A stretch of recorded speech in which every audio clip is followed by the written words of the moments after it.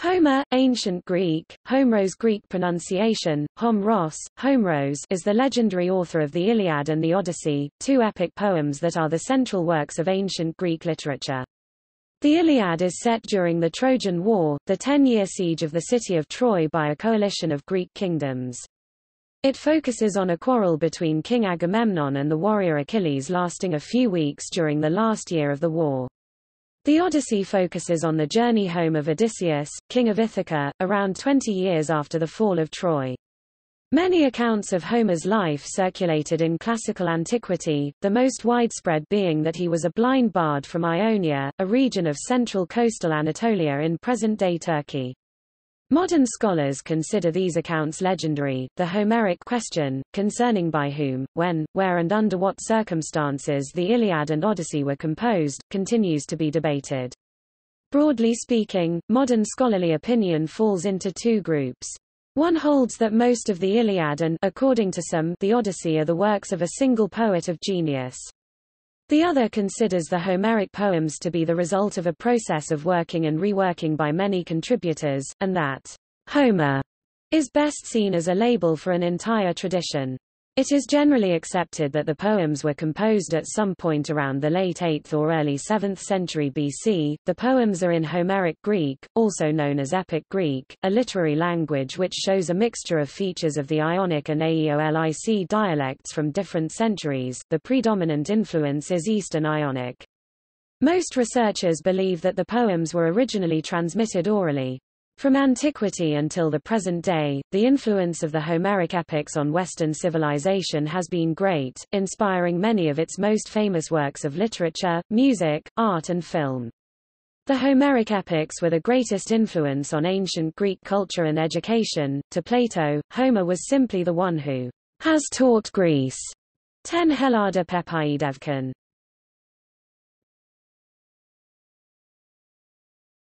Topic. Works attributed to Homer Today only the Iliad and Odyssey are associated with the name Homer. In antiquity, a very large number of other works were sometimes attributed to him, including the Homeric hymns, the Contest of Homer and Hesiod, the Little Iliad, the Nostoi, the Thebaid, the Cypria, the Epigone, the comic mini-epic Batrachomyomachia, the Frog-Mouse War, the Margites, the capture of Oechalia, and the Phocae. These claims are not considered authentic today and were by no means universally accepted in the ancient world. As with the multitude of legends surrounding Homer's life, they indicate little more than the centrality of Homer to ancient Greek culture.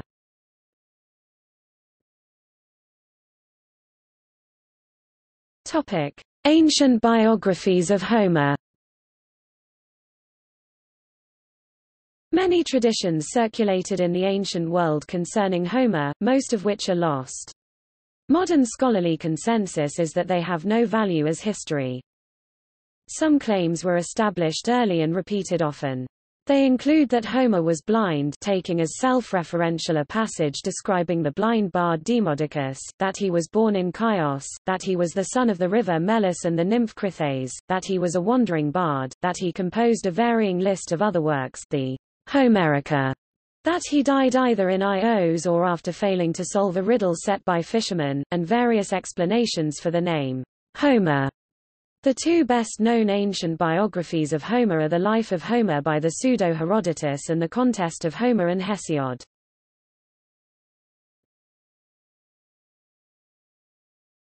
Topic: History of Homeric scholarship.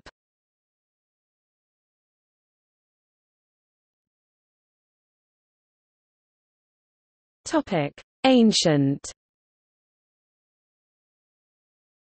The study of Homer is one of the oldest topics in scholarship, dating back to antiquity.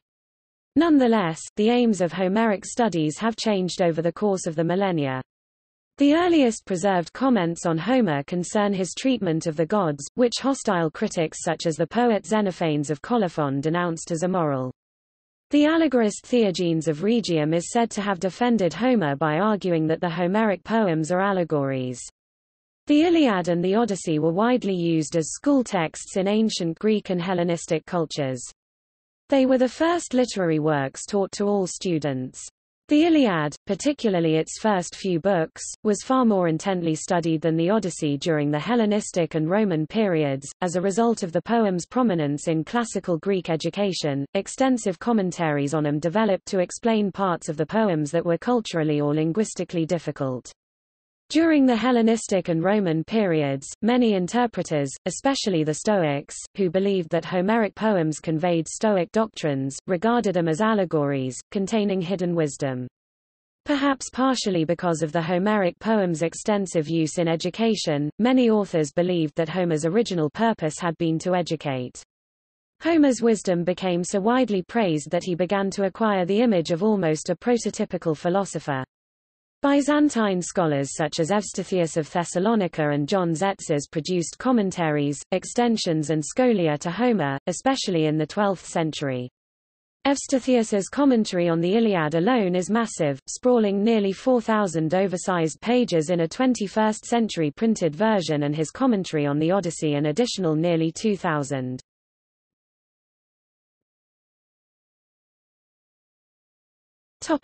Modern In 1488, the Greek scholar Demetrios Chalkokondyles published the Editio Princeps of the Homeric poems.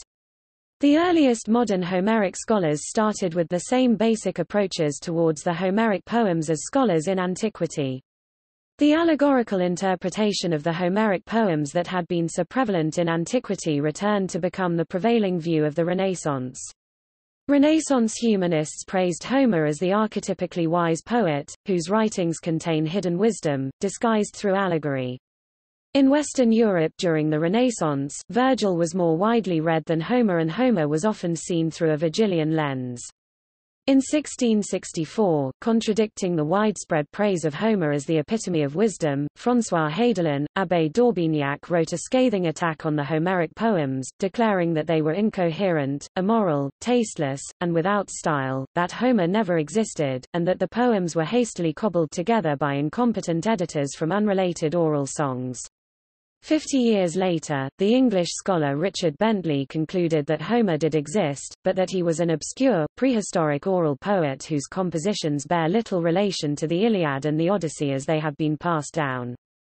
According to Bentley, Homer wrote a sequel of songs and rhapsodies, to be sung by himself for small earnings and good cheer at festivals and other days of merriment, the Ilias he wrote for men, and the Odysseys for the other sex. These loose songs were not collected together in the form of an epic poem till Pisistratus's time, about 500 years after. Friedrich August Wolf's Prolegomena ad Homerum, published in 1795, argued that much of the material later incorporated into the Iliad and the Odyssey was originally composed in the 10th century BC in the form of short, separate oral songs, which passed through oral tradition for roughly 400 years before being assembled into prototypical versions of the Iliad and the Odyssey the 6th century BC by literate authors. After being written down, Wolf maintained that the two poems were extensively edited, modernized, and eventually shaped into their present state as artistic unities. Wolf and the analyst school, which led the field in the 19th century, sought to recover the original, authentic poems which were thought to be concealed by later excrescences. Within the analyst school were two camps, proponents of the lay theory which held that the Iliad and the Odyssey were put together from a large number of short, independent songs, and proponents of the nucleus theory, which held that Homer had originally composed shorter versions of the Iliad and the Odyssey, which later poets expanded and revised. A small group of scholars opposed to the analysts, dubbed Unitarians, saw the later editions as superior, the work of a single inspired poet. By around 1830, the central preoccupations of Homeric scholars, dealing with whether or not Homer actually existed, when and how the Homeric poems originated, how they were transmitted, when and how they were finally written down, and their overall unity, had been dubbed the Homeric question. Following World War I, the analyst school began to fall out of favor among Homeric scholars. It did not die out entirely, but it came to be increasingly seen as a discredited dead end. Starting in around 1928, Milman Parry and Albert Lord, after their studies of folk bards in the Balkans, developed the oral formulaic theory that the Homeric poems were originally composed through improvised oral performances, which relied on traditional epithets and poetic formulas. This theory found very wide scholarly acceptance and explained many previously puzzling features of the Homeric poems, including their unusually archaic language, their extensive use of stock epithets, and their other repetitive features. Many scholars concluded that the Homeric question had finally been answered. Meanwhile, the neo-analysts sought to bridge the gap between the analysts and Unitarians. The neo-analysts sought to trace the relationships between the Homeric poems and other epic poems, which have now been lost, but which modern scholars do possess some patchy knowledge of.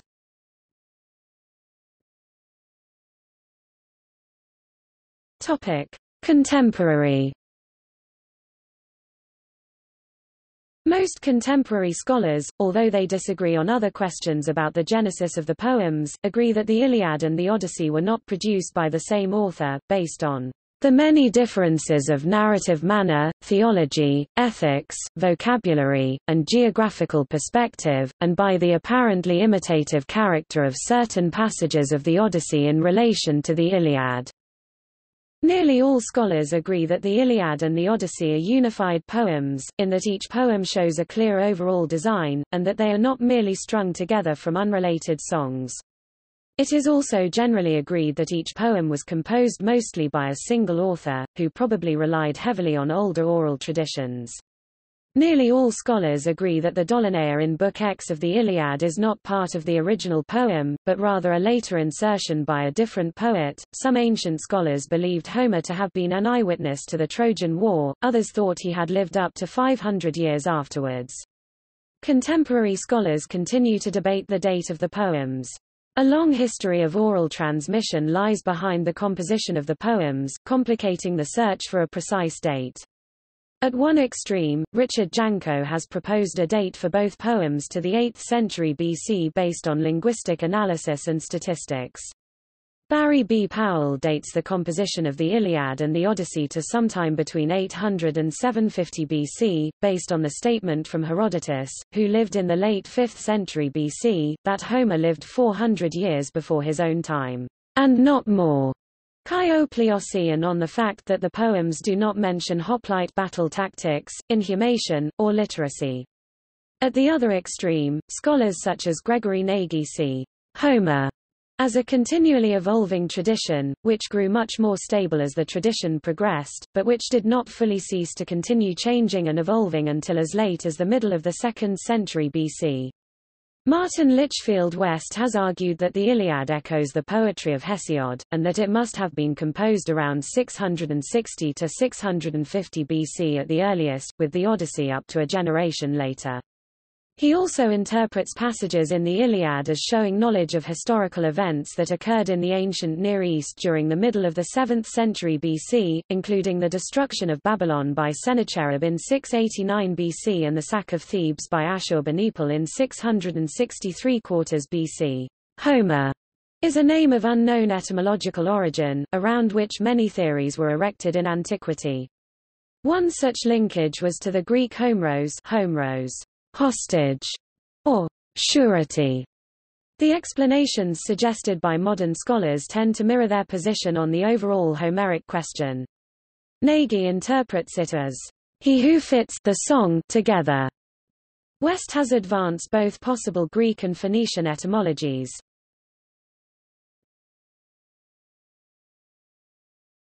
Topic: Historicity of the Homeric epics and Homeric society. Scholars continue to debate questions such as whether the Trojan War actually took place, and if so when and where, and to what extent the society depicted by Homer is based on his own or one which was, even at the time of the poem's composition, known only as legend. The Homeric epics are largely set in the east and center of the Mediterranean, with some scattered references to Egypt, Ethiopia and other distant lands, in a warlike society that resembles that of the Greek world slightly before the hypothesized date of the poem's composition. In ancient Greek chronology, the sack of Troy was dated to 1184 BC. By the 19th century, there was widespread scholarly skepticism that the Trojan War had ever happened and that Troy had even existed, but in 1873 Heinrich Schliemann announced to the world that he had discovered the ruins of Homer's Troy at Hisarlik in modern Turkey. Some contemporary scholars think the destruction of Troy via circa 1220 BC was the origin of the myth of the Trojan War, others that the poem was inspired by multiple similar sieges that took place over the centuries. Most scholars now agree that the Homeric poems depict customs and elements of the material world that are derived from different periods of Greek history. For instance, the heroes in the poems use bronze weapons, characteristic of the Bronze Age in which the poems are set, rather than the later Iron Age during which they were composed, yet the same heroes are cremated an Iron Age practice rather than buried as they were in the Bronze Age.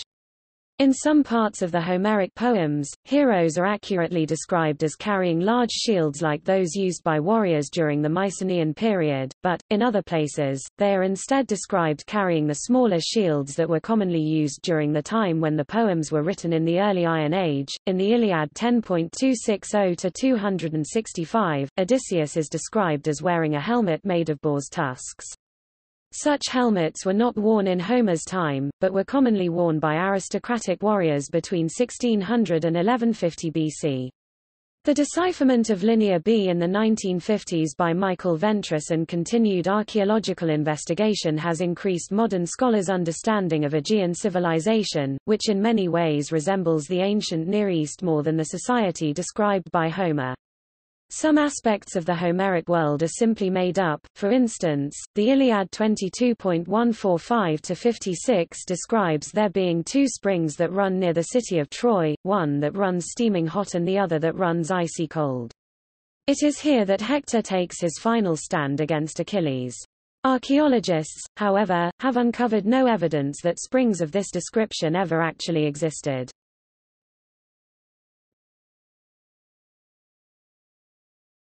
Topic: Homeric language. The Homeric epics are written in an artificial literary language or Kunstsprache only used in epic hexameter poetry. Homeric Greek shows features of multiple regional Greek dialects and periods, but is fundamentally based on Ionic Greek, in keeping with the tradition that Homer was from Ionia. Linguistic analysis suggests that the Iliad was composed slightly before the Odyssey, and that Homeric formulae preserve older features than other parts of the poems.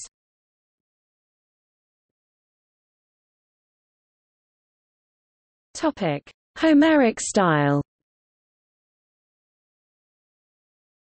The Homeric poems were composed in unrhymed dactylic hexameter. Ancient Greek meter was quantity rather than stress-based. Homer frequently uses set phrases such as epithets crafty Odysseus, rosy-fingered Dawn, owl-eyed Athena, etc., Homeric formulae and then answered him, her, Agamemnon, king of men, when the early-born rose-fingered Dawn came to light, thus he, she spoke, simile, type scenes, ring composition and repetition. These habits aid the extemporizing bard, and are characteristic of oral poetry. For instance, the main words of a Homeric sentence are generally placed towards the beginning, whereas literate poets like Virgil or Milton use longer and more complicated syntactical structures. Homer then expands on these ideas in subsequent clauses. This technique is called parataxis. The so-called type scenes typischen Szenen, were named by Walter Arend in 1933. He noted that Homer often, when describing frequently recurring activities such as eating, praying, fighting and dressing, used blocks of set phrases in sequence that were then elaborated by the poet. The analyst school had considered these repetitions as un-Homeric, whereas Arend interpreted them philosophically.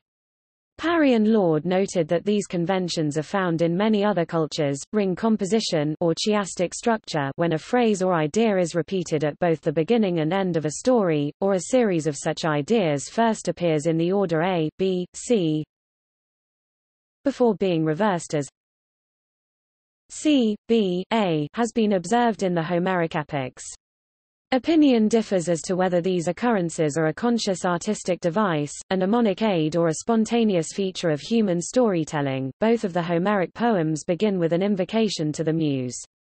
In the Iliad, the poet invokes her to sing of the anger of Achilles, and, in the Odyssey, he asks her to sing of the man of many ways. A similar opening was later employed by Virgil in his Aeneid.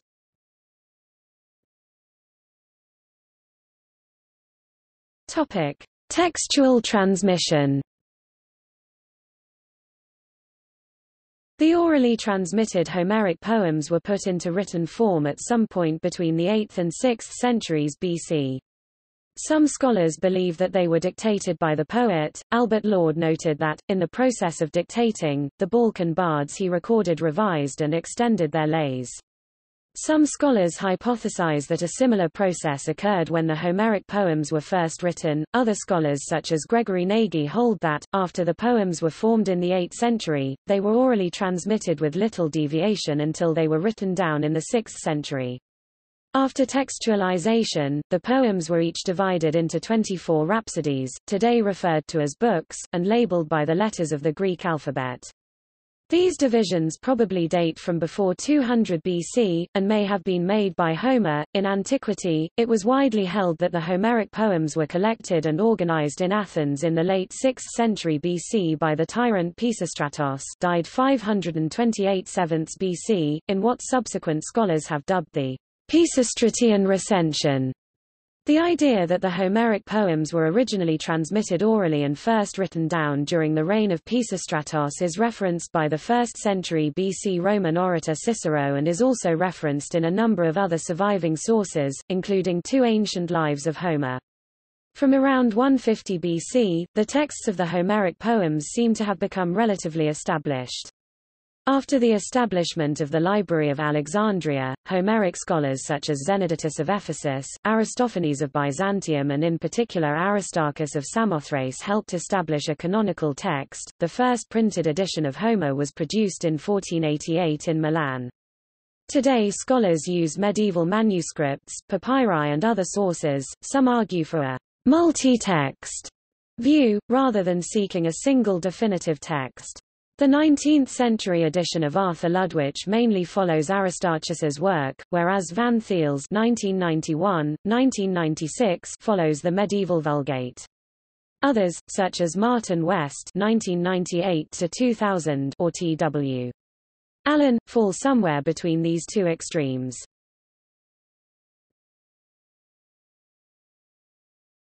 Topic. See also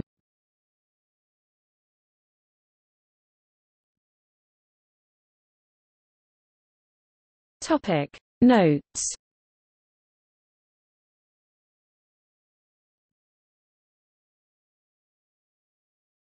Topic. Selected bibliography.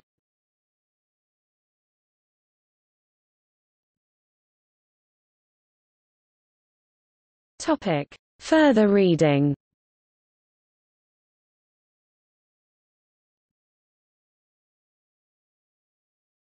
Topic External links. Works by Homer at Perseus Digital Library. Homer at Encyclopaedia Britannica. Works by Homer at Project Gutenberg. Works by or about Homer at Internet Archive. Works by Homer at LibriVox public domain audiobooks. Homer, Murray, A.T. 1925. The Iliad with an English translation in Ancient Greek and English. I. Books I-12. London, New York, William Heinemann Limited, G.P. Putnam's Sons, Internet Archive. The Chicago Homer Dates, Stephen Reader. Homer, Iliad, Book 1, Lines 1 to 52. Society for the Reading of Greek and Latin Literature SORGLL. Heath, Malcolm May 4, 2001. CLAS 3152 Further Greek Literature 2, Aristotle's Poetics, Notes on Homer's Iliad and Odyssey. Department of Classics, University of Leeds, Internet Archive. Archived from the original on September 8, 2008. Retrieved 7 November 2014. Bassino, Paola 2014. Homer, A Guide to Selected Sources. Living Poets, A New Approach to Ancient History. Durham University. Retrieved November 18, 2014.